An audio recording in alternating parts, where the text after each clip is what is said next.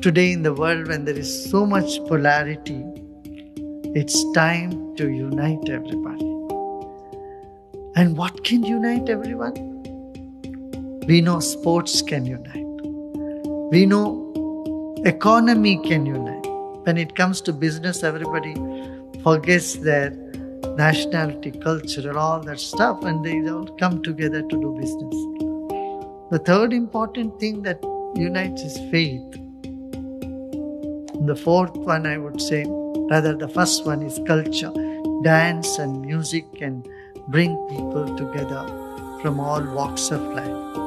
And that's what we will do. We will create a platform for all artists on the planet. It could be like an Olympics of artists, an Olympics for culture.